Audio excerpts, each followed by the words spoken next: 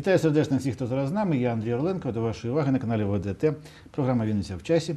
Разом з вами, наші шановні глядачі, е, маю честь та нагоду вітати, сьогодні в нашій студії пана Олега Левченка.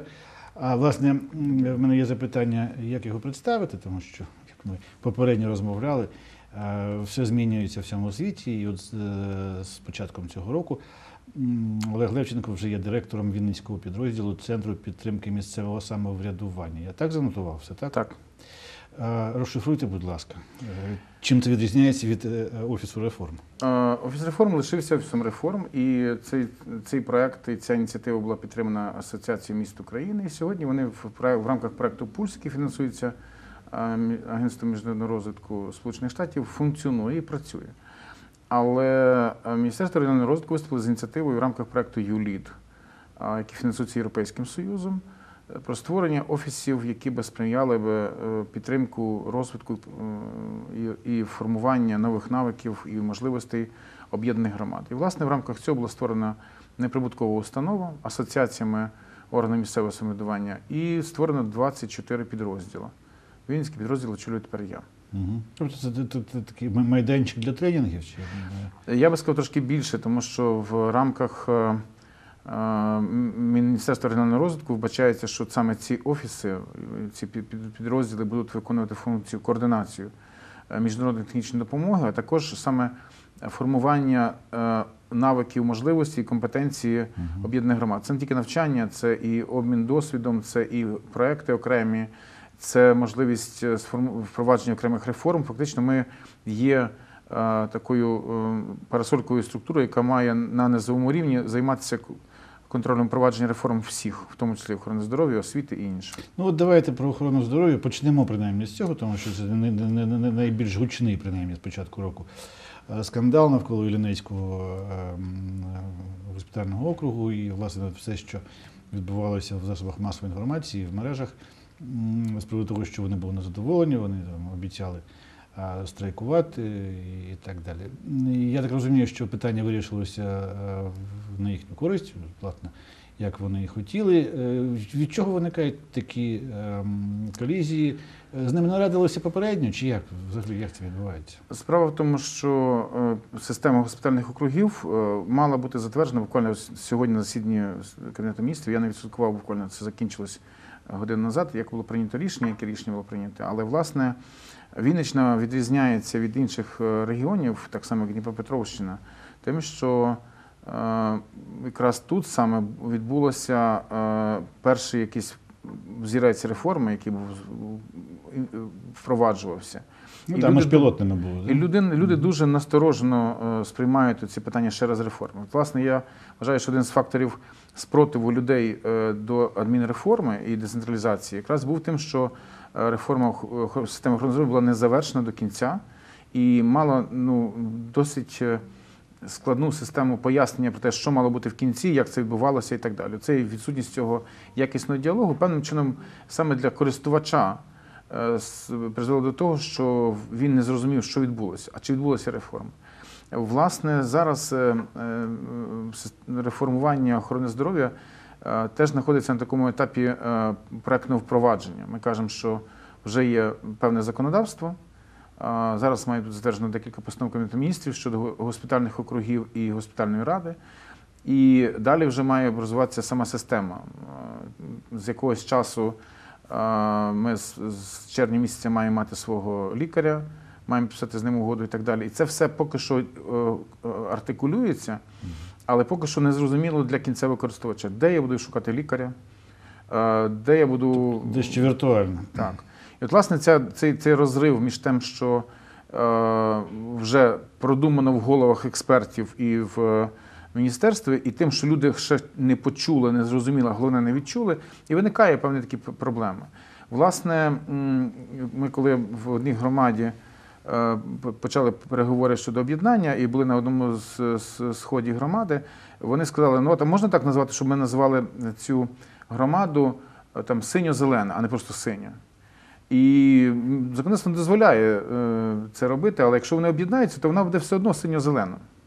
Не дивлячись від тої назви, яка буде. Власне, ці тони збережуться. Так само і тут, чи він буде Тульчинський, чи Ладижинський госпітальний округ, справа не міняється. Кількість населення по нормативам, власне, така, така як і є. І е, дискусія від того, як назвати цей округ, вона не є критичною. Критичною є тільки питання відносно того, які функції ця територія, ну це, це, це, це, е, новостворена система буде виконувати, і як вона чи вона буде дійсно відповідати гармонійно цим процесам. Е, Спротив е, є, і спротив е, саме через те, що дуже складно організувати діалог. Я розумію чисто логіку районного керівництва, як в нас заберуть лікарню, або як нас, нас заберуть статус госпітального округу. Але справа не тільки в тому, як назвати. Справа в тому, що система реформування буде змушувати розрізняти типи послуг. Якщо ми на первинній ланці вона має бути в кожному населеному пункті, то е, то, що ми кажемо, вторинна медицина, вона має бути спеціалізована, галузева. І якщо лікар не робить певну кількість операцій протягом е, е, дня, то він втрачає фаховість. Ну. І краще їхати до того, хто робить стільки-то операцій протягом дня, чим той, хто буде раз в місяць оперувати апендицит. І тут питання дуже складне, що та кількість ліжок е, і та кількість, е, як кажуть, ліжкомісць була орієнтована в свій час під військові дії Радянського Союзу, тим більше Україна була в цьому е, поясі прифронтовому, і власне тут сформувався великий запас ліжкомісць. Сьогодні ми чітко розуміємо, що це є предмет і корупції з одного боку, бо не завжди там ці люди знаходяться. А з другої сторони, що е, знову ж кращих буде небагато, але саме тих, які е, виконують функцію вторинної ланки, чим буде просто наявна і щоб було. Ну, зрештою ж, е, питання в тому, чи будуть лікувати, да, не як це воно буде зватися. І як? Ну, я тут, да, я, я розумію, зрештою, е, і людей, ну, тут цілком гамлетовське питання. Е, Лучше е, со знакомым злом мириться, чем бегством к незнакомому стремиться. Е, Тут якраз от, е, не виникає зауважень щодо людей, які є кінцевим е, споживачем.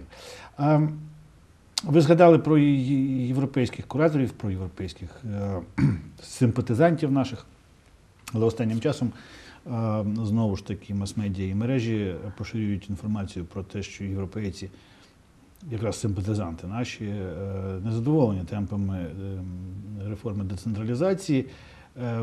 Натомість ми ще півроку тому назад з вами розмовляли в цій студії, і, власне, чи не єдиний успіх е, е, українських реформ називали власне в цій царині, в децентралізації. Що змінилося?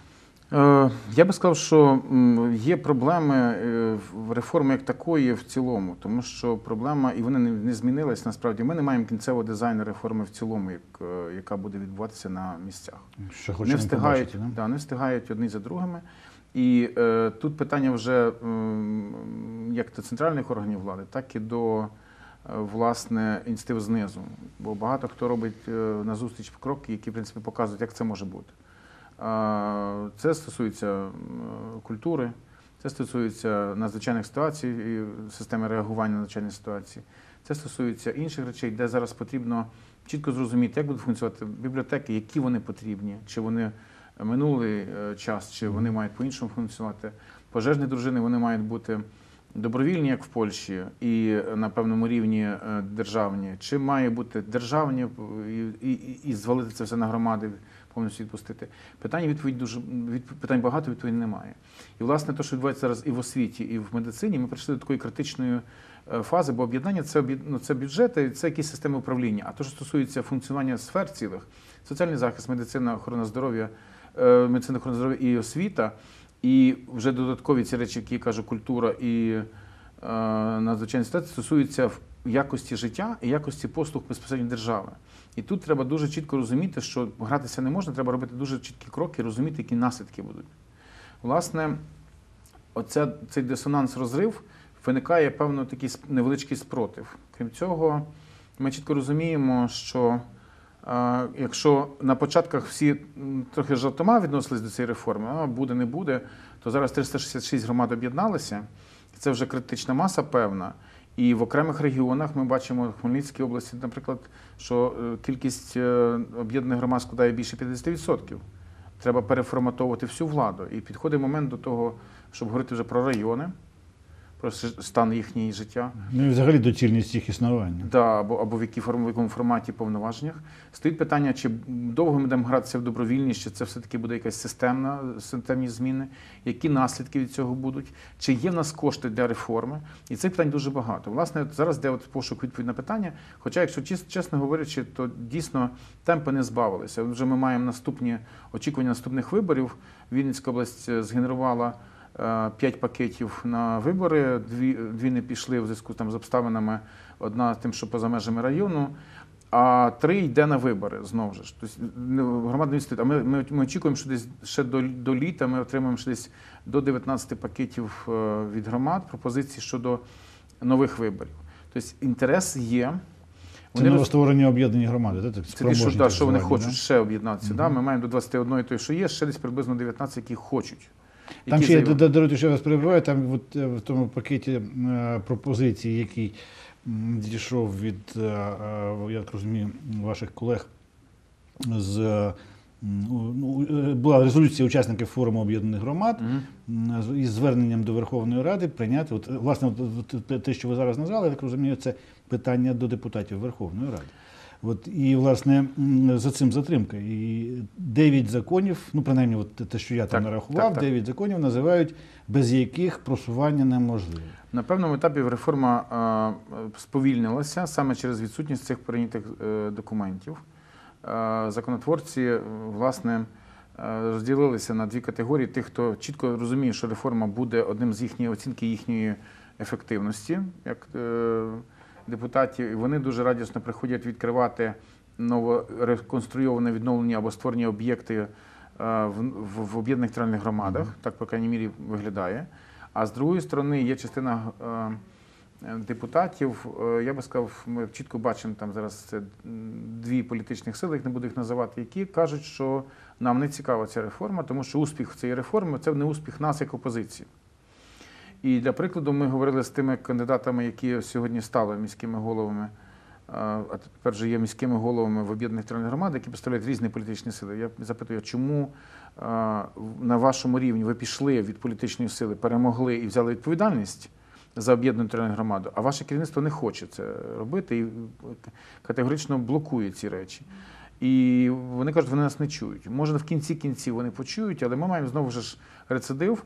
Е, Вчора на погоджувальній раді е, один з законів про вибори за межами е, районів об'єднання громад був знятий з порядку денного. І завтра на сесійні, сесійному засіданні буде голосування тільки двох документів з тих дев'яти, які потрібно прийняти для того, щоб змінити темпи А що саме там приєднання? Те, що те, від, вони е, відклали розгляд законопроекту, пов'язаний з е, об'єднанням громад, які знаходяться поза межами одного району. Це, власне, ми вже маємо таких чотири громади, які заявили, Мгм. які провели всі процедури, де люди нас це Це в нас Краснопілка, це в нас е, Медвежевушко, це в нас е, не Медвежевушко, зараз я перепрошую. Це в нас е, е, Гнівень, і це в нас е, е, Росоша. Угу. Це ті громади, які е, погодилися, провели всі процедури, де громади згодилися об'єднатися, де було враховано інтерес. Часто так виглядає, що окрема громада живе в зв'язку з віддаленістю від центра в іншій, в іншій громаді, або навколо центру економічної активності, або так, як було історично, коли складалося, власне. І е, діти ходять в школу, в садочок, вони взаємодіють між собою, в них є економічні зв'язки, є нормальне сполучення, але до районного центру їм значно далі. От їм вигідніше так буде. І вони вже так живуть, а їм не дозволяють просто об'єднатися, тому що Центральна виборча комісія каже, що це порушує систему представництва виборчого в районних радах, бо будуть громади в двох районів. А як будуть представляти територіальні комісії в районній Ну, раді? так. Причому здесь більше, коли такі діла на кухні. І от через це, от ми цей закон відкликали, а без нього дуже важко створити цю закінчений перспективний план, цю мапу реальної картини, як варто об'єднуватися. Є очікування, що якось воно буде. Але без цих двох законів, особливо той, який буде завтра голосуватися, буде винесений, винесений порядок денний, і цей, який відложений, важко закінчити цілісний дизайн, тому що десь у ці громади не можна ігнорувати, які живуть між районами. Є очікування, що до сильних громад приєднаються громади з околиць інших районів.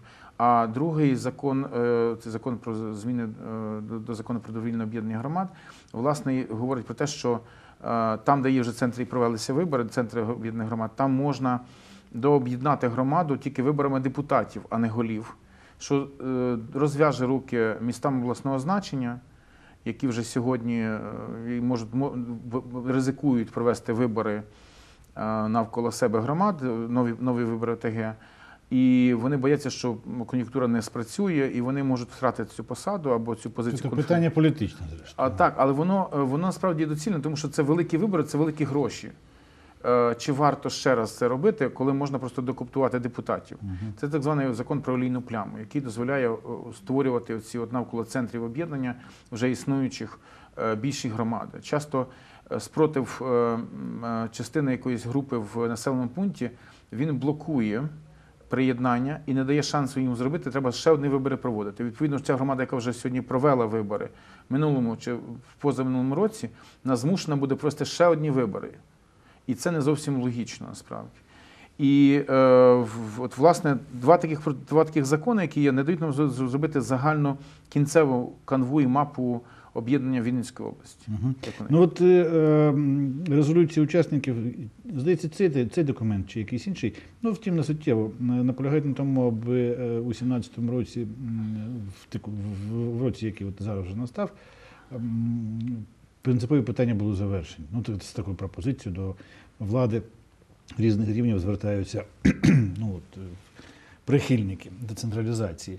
З одного боку, з іншого боку, е, я так розумію, що е, за законом не менше 1% від бюджету має бути е, виділено з державного бюджету має бути виділено на ці проблеми децентралізації. А насправді менше половини. Тобто грошей немає. Тобто це знову е, е, виникає питання про те, що е, чи нема бажання, чи немає грошей, і зрештою потім е, за результат не, буде кому відповідати. Справа в тому, що ем, є власне закон про регіональну політику, і власне він передбачає ця ціла система документів, які створюють Державний фонд регіонального розвитку і інші речі. Він передбачає європейську модель функціонування е, системи регіонального розвитку і підтримки. І ми вже прожили декілька років в цій системі. і Ми бачимо якісь певні проекти, які були підтримані, отримали кошти Вінниця, інші населені пункти, громади, е, роз- на розвитковий проект. Дуже важко е, змиритися з тим, що є, і власне ця інерція працює, що не е, область або район має визначати, е, що є конкурентним на рівні України, що є важливе і що буде розвиткове. Е, Так виглядає, що сьогодні в порядку цього прийняття рішення щодо того, що підтримати, що не підтримати в рамках того самого Державного фонду регіонального розвитку, вирішує область. Вона є реаліза... ре- займається реалізацією стратегії регіонального розвитку області, і вона приймає рішення, що має бути. І тут є питання, що вже навчилися, вже підготувалися до цього, вже є проекти подані, маємо цей от запас. Але е, на рівні е, Верховної Ради було сформовано інше бачення щодо суми, яка має бути передана в цей кошик, власне.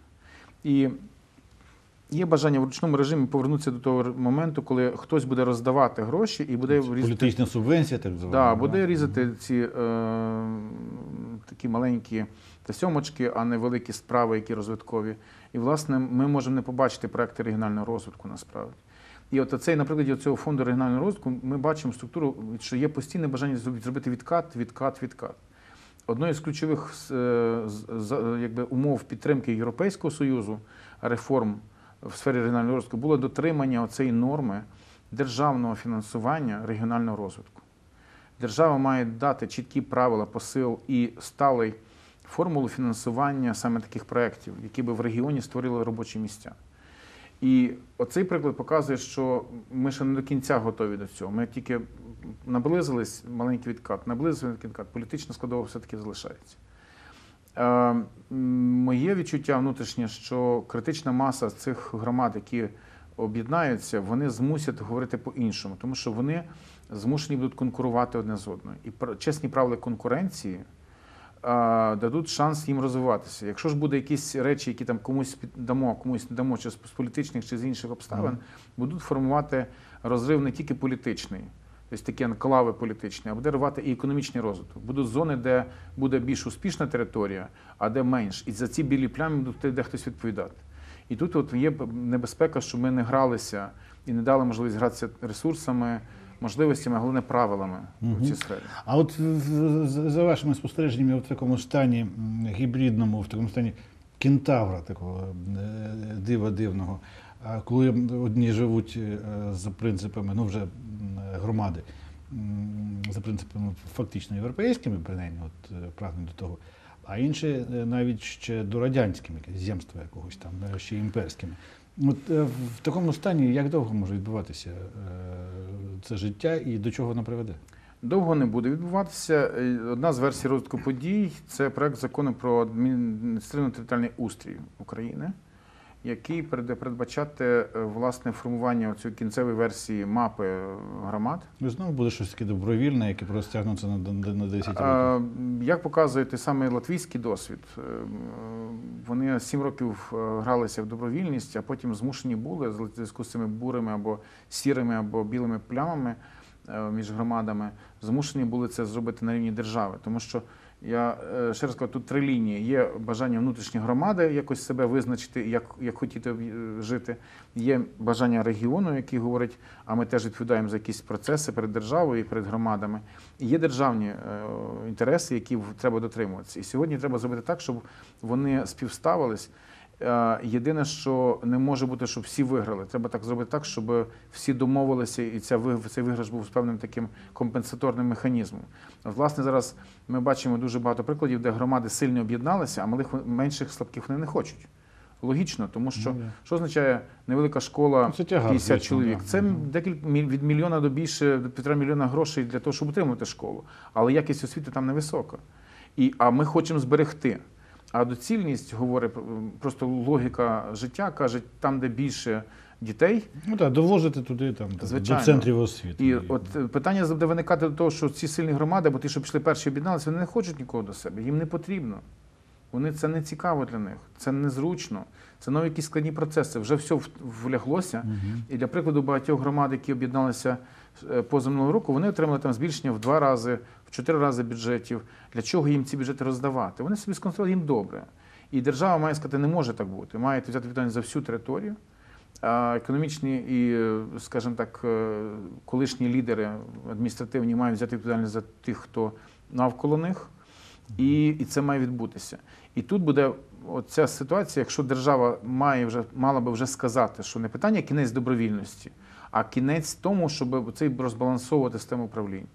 У вас був шанс. У вас було два роки шансів. У вас ви побачили, хто хотів, зробив. Ну, так, поляки за півроку зробили, зрештою. І вони не гралися в цю, в цю демократію. З одної сторони, добре, з другої сторони, погано, але там був дуже великий серйозний підготовчий період до об'єднання. Вони дуже довго готувалися. Вони прораховували кожен абсолютно можливість. І теж, навіть не дивлячись на те, в минулому році було перше роз'єднання громад в Польщі. Ну то таке. Там не було колгоспів, майже не було. От, а в нас е, і досі ще в когось виникає питання щодо доцільності е, капіталізації земель. А, а тут же вже як е, один з головних ресурсів, принаймні, на наших вінницьких теренах. Ем, Зрозуміло, що ми не все встигли, далеко не все, що в мене було заплановано. Я сподіваюся, що з гарними новинами ви прийдете на найближчий час, і ми продовжимо цю розмову, вже е, обговорюючи прийняті закони е, Верховною Радою, які будуть сприяти е, децентралізації в Україні. У нас є величезний процес, прогрес. У нас є 19 громад плюс, які об'єдналися. 20, 19 громад, які ризикнули і зробили цей крок. І це гарний, гарний не сюрприз, а результат для нас сьогодні. Ну, тенденція, зрештою, для інших, хто ще не об'єднався, вона позитивна. Вони, вони дивляться е, з Так. заздрістю на, на тих, хто Ми зробили дуже простий крок. Ми е, тих громад, які об'єдналися, ще раз е, спровадили до себе, запросили і поїхали в Хмельницьку область, показали, як вона функціонує вже рік. Мгм. І ніхто не сказав, що вони програли. Вони кажуть, дуже багато роботи, але виграш на, на лице. Ну тут здається зрозуміло, якщо не бути предвзятими, і обговорювати нема що перспектива в одному напрямку. Олеже, я дякую, що прийшли. Нагадаю нашим глядачам, Олег Левченко, директор е, Вінницького підрозділу Центру підтримки місцевого самоврядування, був в програмі Вінниця в часі. Хай вам щастить і на все добре.